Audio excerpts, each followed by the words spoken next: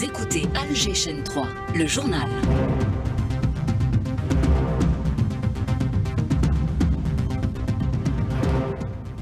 12h30 sur Alger Chaîne 3, bienvenue à tous à cette nouvelle édition. Le chef de l'État, Majid Tebboune, préside en ce moment une cérémonie au Palais du Peuple en l'honneur des athlètes de l'équipe nationale militaire suite à sa belle performance aux Jeux africains d'Abuja au Nigeria. La cérémonie se déroule en présence du général d'armée Saad qui a salué à l'occasion la performance des athlètes. Nous l'écouterons dans un instant. Nous parlerons de la coopération algéro-sud-africaine avec la visite demain du président Cyril Ramaphosa. Il doit prononcer un discours devant les deux chambres du Parlement convoqué par le chef de l'État. Et dans le journal sur les relations bilatérales et le combat commun entre Alger et Pretoria pour l'indépendance de la Palestine et le Sahara occidental. Et on se remémore ce 4 décembre, un triste anniversaire. Il s'agit de la première attaque chimique contre les Algériens commise par l'armée coloniale française à la Roite. C'était en 1852. 3000 Algériens ont été massacrés forces fort blanc. Projet de la mine de zinc et de plan d'Amizour dans la vallée de Béjaïa en visite hier, Mohamed Al-Qaba a rassuré les propriétaires expropriés de leurs terres de bénéficier d'une indemnisation satisfaisante, juste et équitable. À l'étranger, nous parlons de la situation à Raza où les bombardements se poursuivaient également de la crise politique en Corée du Sud après la promulgation puis l'annulation par le président sud-coréen de la loi martiale. Et il pleut depuis ce matin sur plusieurs wilayas du centre. BMS valide jusqu'à demain jeudi. À suivre un bon reportage, c'est la saison des agrumes, reportage à Alger, signé euh, Mayel 15, prix et qualité sont proposés aux clients. Et puis du sport avec euh, la canne de handball euh, féminine et le match des Algériennes cet après-midi face à l'Angola. Bonjour à tous. Le président de la République, chef suprême des forces armées, ministre de la Défense nationale, Abdelmajid Tebboune, préside en ce moment une cérémonie au Palais du Peuple en l'honneur des élites sportives militaires nationales, l'équipe militaire qui a réalisé une belle performance lors des Jeux africains d'Abuja au Nigeria. L'équipe a raflé 96 médailles, dont 53 en or. La cérémonie se déroule en présence du président du Conseil de la Nation, Salah Goujil, et des membres du euh, gouvernement notamment et dans une allocution prononcée, le général d'armée Saïd Chenghilha a salué la performance des athlètes en l'écoute.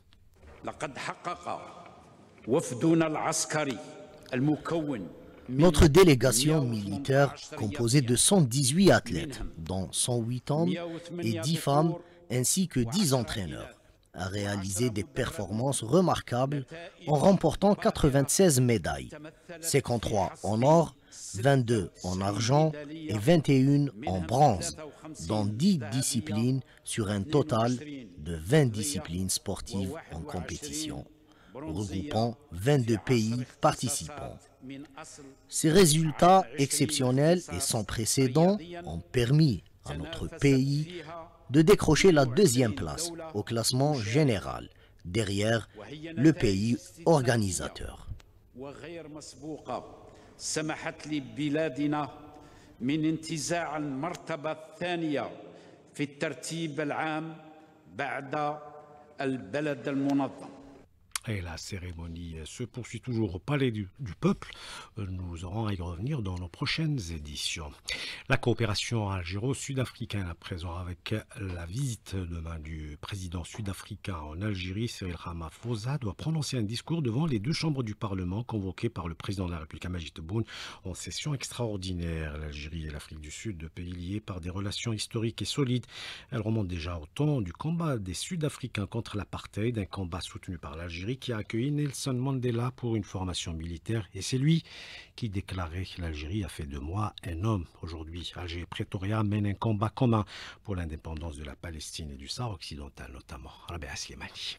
Alger et Pretoria sont liés par des relations fortes et solides, et des relations historiques, et ce n'est pas un hasard si Nelson Mandela, le premier président de la nation arc-en-ciel, est libéré de prison en 90 après avoir passé 27 années dans les geôles de l'apartheid et consacré sa première visite à l'étranger pour l'Algérie. Il faut rappeler surtout cet engagement commun entre les deux pays à œuvrer pour les intérêts africains. L'Algérie et l'Afrique du Sud sont parmi les grands initiateurs du NEPAD, le nouveau partenariat pour le développement de l'Afrique ce programme qui vise à assurer le développement et l'intégration au niveau continental. Sur la scène internationale, Alger et Pretoria mènent le même combat pour la réforme du Conseil de sécurité et de tout le système des Nations Unies pour l'émergence d'un nouvel ordre mondial plus juste, plus équitable et surtout plus représentatif. À l'ONU, les deux pays ont toujours été unis et parlent d'une seule voix pour la défense des causes justes, notamment celle du Sahara occidental, la dernière colonie d'Afrique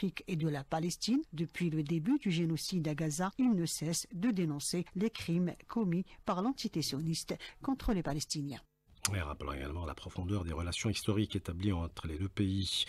David Zoumenou, chercheur à l'Institut d'études et de sécurité de Pretoria, affirme que l'Afrique du Sud et l'Algérie sont des partenaires stratégiques. La coopération économique est en train de se renforcer. L'Afrique du Sud, qui assure la présidence tournante du G20, la première pour un pays africain. L'Afrique du Sud a toujours eu à cœur d'associer ses grands partenaires comme l'Algérie pour défendre les intérêts du Sud global dans l'économie mondiale. On écoute l'analyse de David Zoumenou, chercheur à l'Institut d'études et de sécurité de Pretoria. Il est contacté par Arabia Slimani. Pretoria et Alger partagent une plus euh, grande place au sud global dans les discussions sur l'économie mondiale sur la façon dont les institutions internationales fonctionnent. Et l'Afrique du Sud a toujours eu à cœur d'associer les grands pays de l'Afrique du Nord ou les grands pays de l'Afrique à toute initiative continentale qu'elle essaie de prendre ou qu'elle préside. Et c'est à juste titre qu'en tant que premier pays africain à présider le G20, euh, l'Afrique du Sud tourne vers ses partenaires en Afrique du Nord pour les écouter, pour harmoniser les points de vue sur la façon dont le Sud global peut se positionner pour tirer profit un peu de, ces 12 mois de présidence de, de l'Afrique du Sud et l'engagement de l'Algérie pour un monde sans armes nucléaires souligné et mis en avant par le secrétaire exécutif de l'organisation du traité d'interdiction complète des essais nucléaires, Robert Floyd, a été reçu hier par le président de la République. On l'écoute. C'était un grand honneur et un privilège de rencontrer le président et de discuter du partenariat entre l'organisation du traité d'interdiction complète des essais nucléaires et l'Algérie. Le président Tebboune a réitéré l'engagement de l'Algérie pour un monde sans essais nucléaires et sans armes nucléaires. Sa déclaration était très encourageante car il était clair que son engagement était inspiré d'une histoire marquée par 17 essais nucléaires effectués sur le territoire algérien un fait auquel je peux m'identifier en tant qu'Australien, car 12 essais nucléaires ont été effectués sur le territoire australien. Nous nous sommes entendus pour poursuivre le travail afin de construire un monde meilleur pour les générations futures, sans essais et sans armes nucléaires. Et en parlant d'armes chimiques, on se remémore ce 4 décembre, un triste anniversaire. Il s'agit de la première attaque chimique contre les Algériens commise par l'armée coloniale française à la Roite. Et c'était en 1852. 3000 Algériens ont été massacrés au phosphore blanc. Hamid Belkacem.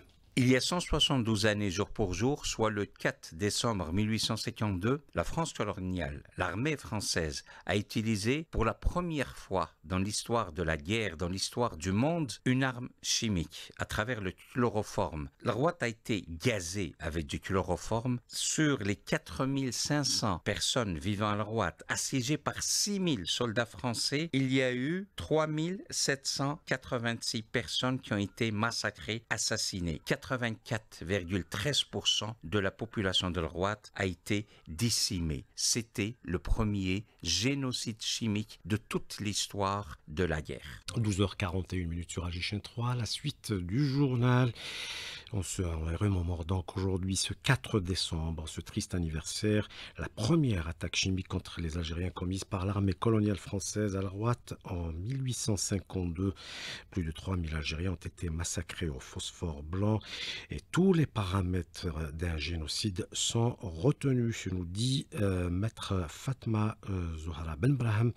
Elle répond à Hamid Belkacem si on se place dialectiquement dans le temps aujourd'hui, on va parler d'un véritable génocide parce que tous les paramètres du génocide sont retenus. Donc, à l'époque, vous retrouverez beaucoup plus le mot massacre. Et c'est effectivement un massacre extraordinaire qui a eu lieu. Donc, cette bataille, entre guillemets, parce que c'était les militaires français qui l'ont appelé comme ça, ils l'ont appelé la bataille de l'Orwat. Donc aujourd'hui, on revient sur un crime incommensurable. Nous sommes en 1852 et la population de l'Ouad était, selon les statistiques retenues par l'armée française, évidemment, 6 000. L'Ouati de l'époque. Et sur 6 000, il n'a survécu qu'un homme aveugle, un enfant et une femme. Ils disent nous avons exterminé avec euh, du chloroforme. Tous ces résistants qui ne se sont pas laissés faire et qui se sont battus jusqu'à la dernière minute et à suivre euh, l'émission spéciale à partir de 13h euh, sera présentée par Hamid Belkacem avec tous ses invités. L'Algérie qui a arraché son indépendance au prix de grands sacrifices. L'Afrique s'en est inspirée. Aujourd'hui, les Africains mènent un autre combat contre le néocolonialisme. Le Tchad et le Sénégal sont les derniers pays à mettre euh, fin justement à la présence militaire française sur leur sol. On écoute Ablaziz Mjahed, directeur général de l'INSEG. l'invité du jour ce matin sur les ondes de la chaîne 3. Il répond aux questions de Nelly Manouali. L'unité africaine d'aujourd'hui, elle a été décidée en 58. C'est en 58 que France Fanon et les leaders africains avaient tracé cette voie et ils ont parlé du devoir des Africains de se libérer non seulement du colonialisme, mais des séquelles du colonialisme au niveau mental. Et c'est là où Mohamed Sharif Sahli avait parlé de il faut qu'on décolonise l'histoire. À ce moment-là, on ne laissera pas la place au Sarkozy et au Macron de parler du retard de l'Afrique. L'Afrique, ça a été le berceau de l'humanité et on peut le montrer, le démontrer. Aziz Medjad, directeur général de l'Institut national d'études stratégiques et globales, invité euh, du jour ce matin. La sécurité en Afrique, justement, le concept stratégique de la force africaine en attente au centre d'un atelier organisé conjointement hier par le ministère de la Défense nationale et la Commission de l'Union africaine. Et représentant le général d'armée, ministre délégué auprès du ministère de la Défense nationale, chef d'état-major de l'AMP, le général-major Belkacem Hasnat, a déclaré que l'objectif de cet atelier vise à consolider la paix et la sécurité régionale et continentale. On l'écoute. Cet atelier constitue un point de départ fondamental vers la concrétisation de l'objectif commun auquel nous aspirons tous, renforcer la capacité à faire face aux défis sécuritaires et politiques et assurer une réponse rapide et efficace face aux crises, ce qui contribuera à renforcer la sécurité et la stabilité au niveau continental et ce, à travers l'activation de la force africaine en attente qui constitue l'un des fondements dans la structure de la paix et de la sécurité africaine. Et le commissaire aux affaires politiques, à la paix et à la sécurité de l'Union africaine a pour sa part souligné l'importance de la force africaine en attente en tant que vecteur de paix et de sécurité dans le continent africain.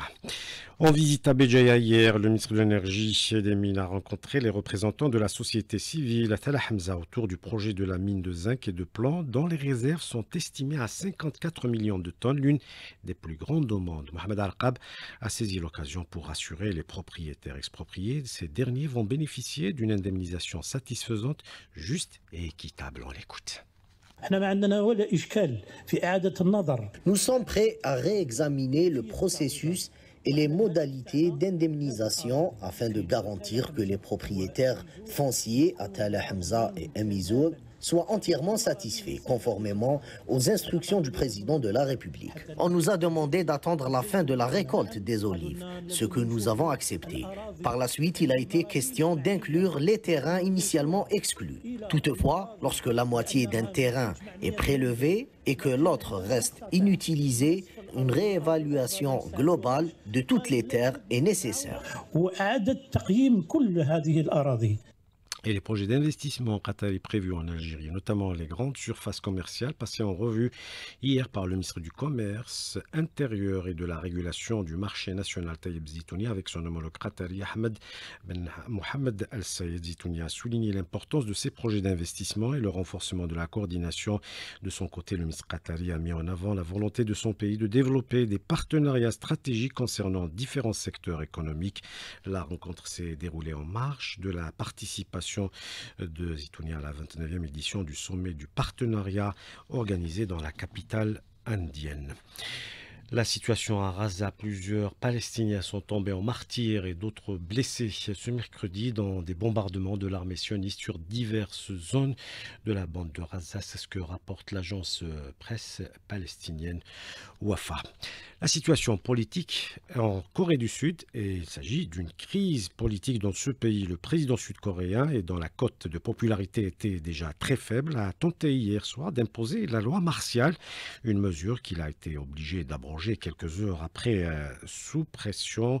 L'opposition exige à présent sa démission alors que le chef du parti au pouvoir estime euh, que le président issu de la même formation devra rendre des comptes. Éclairage avec l'analyste politique François Dangoué, contacté par la Slimani.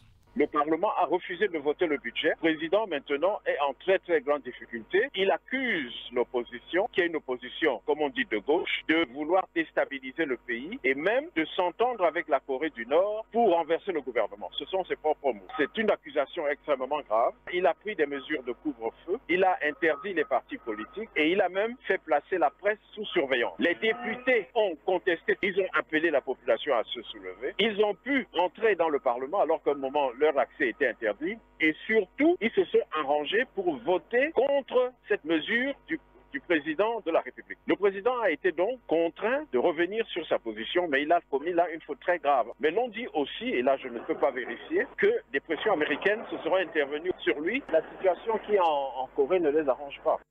Un retour euh, chez nous et il pleut depuis ce matin sur plusieurs villages du centre et de l'est de l'Algérie. De fortes averses qui se poursuivront jusqu'à demain jeudi, selon Météo Algérie, jusqu'à 40 mm par endroit. La chaussée est glissante, d'où les appels à la, de la protection civile à la prudence. Deux accidents sont d'ailleurs enregistrés ce matin à Alger et un autre à Boumerdes. On écoute euh, le capitaine Nassim Balnaoui de la protection civile contacté par Ibtia Atoun. Durant les dernières 24 heures, il y a eu 170 interventions suite à plusieurs accidents de la route qui ont causé malheureusement le décès d'une personne sur euh, le lieu des accidents et des blessures à 181 autres personnes qui ont été traitées et secourues par nos éléments puis évacuées vers les différentes structures hospitalières. À signaler aussi euh, l'accident qui a été euh, enregistré à 7h44 du matin, survenu au niveau de la ville de Boumoudes. Rappelons pour les utilisateurs de la route de doubler vigilance, plus de prudence. Il faut baisser au maximum sa vitesse vitesse, euh, toujours laisser une bonne distance de sécurité entre les véhicules et il y a aussi éviter les déplacements dangereux afin d'éviter les dérapages et renversements. Et ces pluies sont accompagnées d'une baisse sensible des températures. Et quoi de mieux pour votre immunité qu'une bonne mandarine? Les étals des marchés sont justement bien achalandés. C'est la saison des agrumes. La production est bonne cette année et les prix sont très abordables. Le reportage dans un marché de la capitale signé Maïs Ismaël qui est revenu avec un sac bien rempli de juteuses mandarines. Bonjour, elle est à combien la mandarine? 130, elle est 200. D'accord. Est-ce que je pourrais avoir un kilo s'il vous plaît? Les oranges et les clémentines font leur grand retour sur les étals des marchés en Algérie. Avec la chute des températures, ces agrumes arrivent à point nommé pour offrir un véritable apport en vitamine C, parfait pour renforcer l'organisme durant cette période hivernale. Mohamed Nadi, président du Conseil national interprofessionnel de la filière agrumes, rappelle que la récolte précoce qui a débuté fin septembre reflète une production satisfaisante entre l'année 2022 2023 et 2023-2024, on arrive à 10 millions de quintaux. L'année de 2022-2023, on est arrivé à 16 millions de quintaux. Cette année, le climat est très favorable. Plus, euh, les bien sûr, ils sont en train d'utiliser une méthode technique, surtout en irrigation, où nous, comme président ou bien comme consommateur, ou là, comme là, on est très content lorsque le citoyen peut arriver à consommer ce, ce genre de fruits. Dans les marchés de proximité, les agrumes sont à l'honneur. كل كاليتي دوك دير بالتحية طامسون با بليس فليطر ماك تاع العصير هذيك لا سونغي لا ملين طرديف كل كاليتي أختي. كاين 8000 7000 10 15 نعم علاش كاليبر. الله غير فور تاع بلادنا فور بزاف. Ces fruits phares de la saison hivernale se vendent à des prix abordables pour le plus grand bonheur de tous. Pour cette année, les oranges, elles sont succulentes, juteuses, sucrées, et rien à dire, même les prix abordables. C'est une réussite cette année. Tellement profité de l'âme, À peu près 18 millions de quintaux d'oranges, toutes sortes confondues, sont attendus cette saison. Une belle récolte, un goût incomparable et des prix accessibles. L'orange et la clémentine font véritablement rayonner l'hiver des Algériens. Merci Maïssa Smaïl pour ce reportage et les mandarines offertes aux collègues à la rédaction. Le patrimoine algérien qui prend euh, du galant un nouvel élément entre patrimoine immatériel de l'UNESCO. Il s'agit du costume féminin de cérémonie dans le grand est de l'Algérie, sa confection et les rites qui, euh, tournent autour.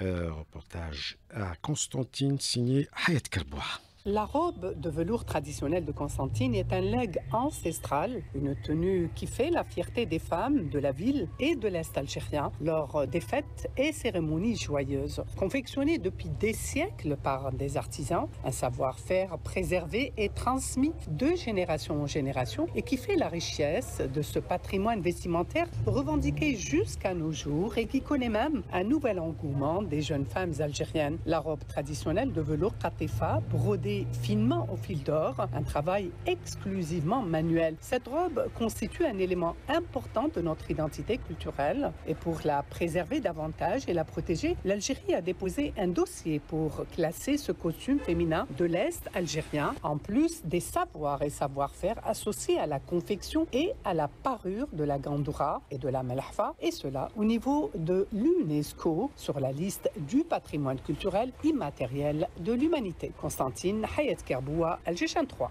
Habzal Hamouli, bonjour. Brahim Mazouz, bonjour. on va parler sport handball, la Cannes féminine, un match difficile attend le 7 national cet après-midi.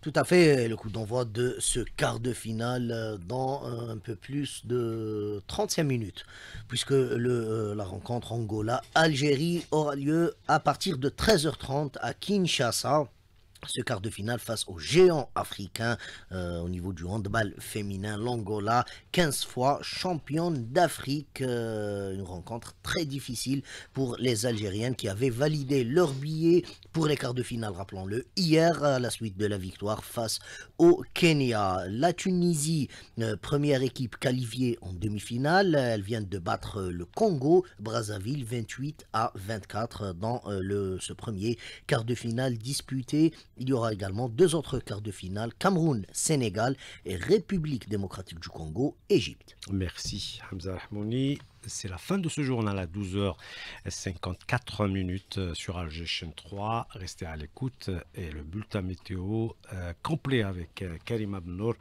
et ce BMS pluie qui reste valide jusqu'à demain. C'est la fin de ce journal. Merci d'avoir suivi. Très bonne écoute.